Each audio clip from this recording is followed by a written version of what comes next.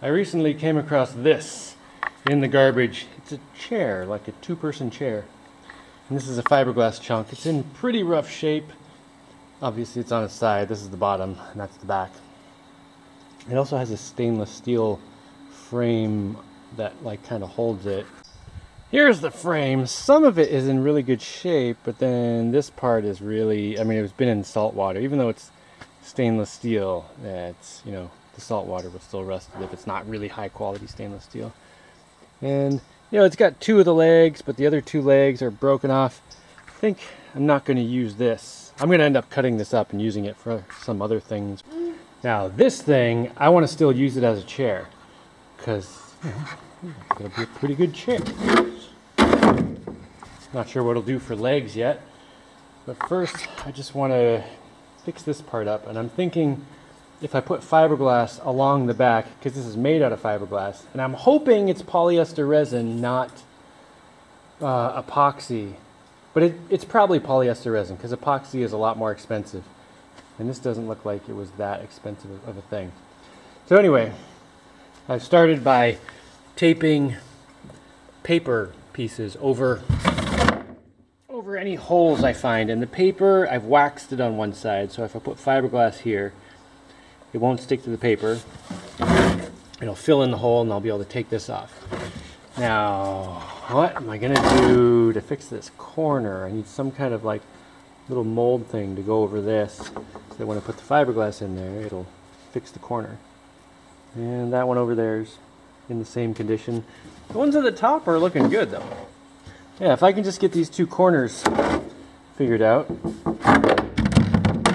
I should be able to slap a layer or two of fiberglass over this whole thing and it should be strong.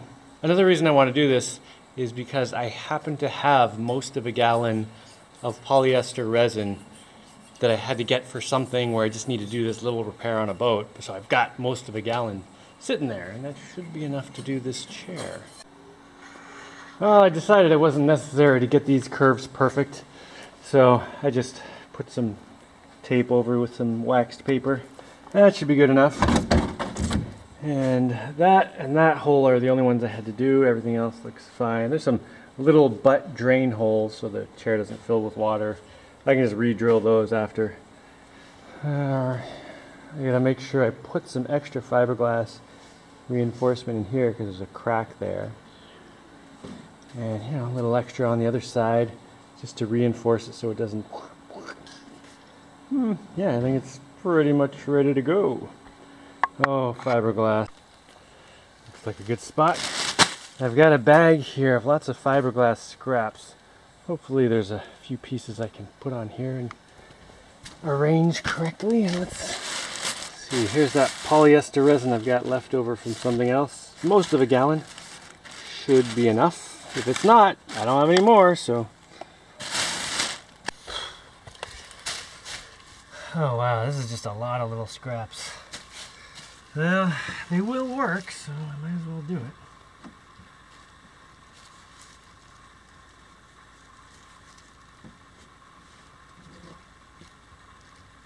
it. oh, should I just go cut a new big piece off a roll? The problem is, these are just going to sit here for the next 20 years doing nothing if I don't use them. Alright, let's do it. Well, those bits of fiberglass definitely got smaller than I was hoping. Whatever though, they'll all mush together when I get the resin on there. Um, well, we're having squash soup today.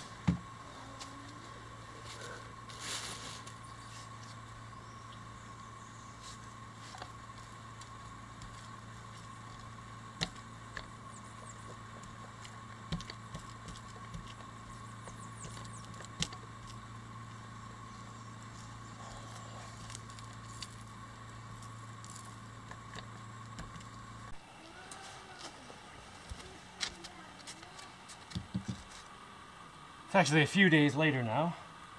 Uh, this is looking pretty good. Time to trim the edges. Yay. The worst part of fiberglass. No, this is not the worst part of fiberglass. Sanding. That's got to be the worst part of fiberglass, which is about to happen. All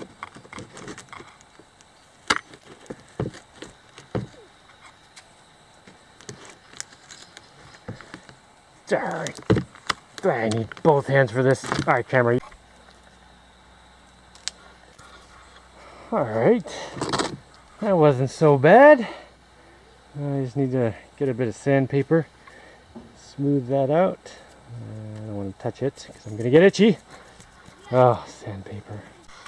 Oh, right. I had some little tape fixes here. Let's see how those went. Looks like it's pretty good.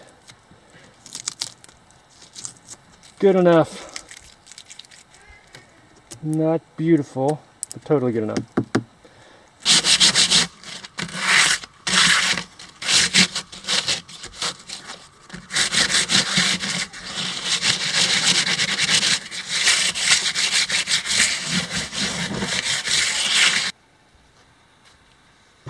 So it looks like my fiberglass reinforcements did pretty well.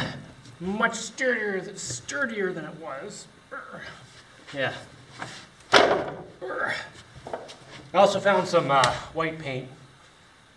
Not, not really the color I would have chosen, but I had it, so whatever. Also, it's a little bit pink because my roller previously was using red. Anyway, it's also dirty because my kids have been playing with it.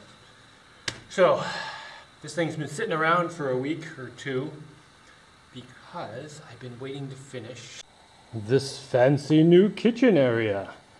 So, this guy is going to be seating on this side. So now that this is done, I can figure out what height this needs to be and, you know, put the appropriately length legs and everything.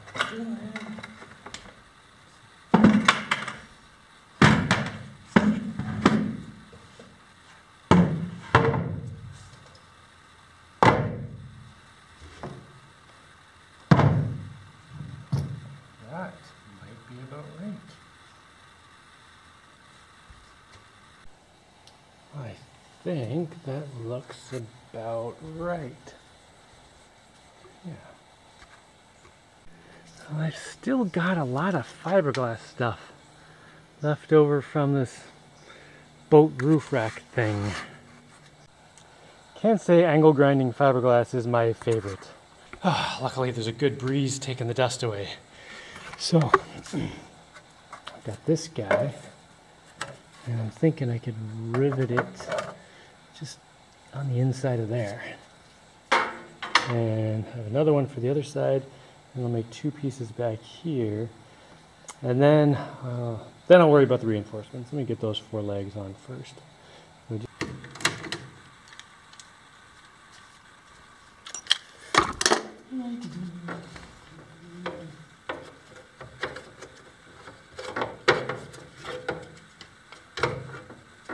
All right. Now for some reinforcements. Definitely need something across here and across the front.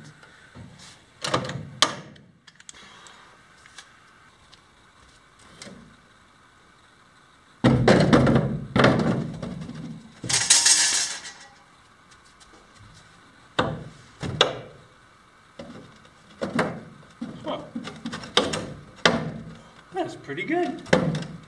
Maybe that's all it needs. Mostly the kids are at sitting this and they weigh like nothing.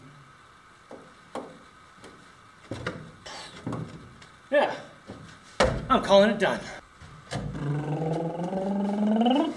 All right, the kitchen is open for kids. Nice. You know what? Kids are definitely gonna stand on the back of this. Alright. Yeah, that's. Cool. Huh. Looks like my camera only has a few more seconds of memory left in it. I wonder what happens when it runs out. Here, sit down. Oh, hi. Hi. I'll take your brush. Hey, you're supposed to sit there.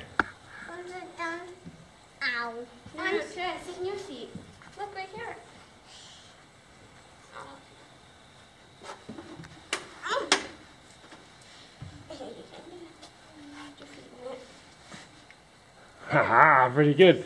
Dude, do you want do you want to sit right here, or do you want to sit there? You think three of you will fit? Three? Okay, sit right here. Could I fit yeah, up here too? I guess so. His feet are sticking out.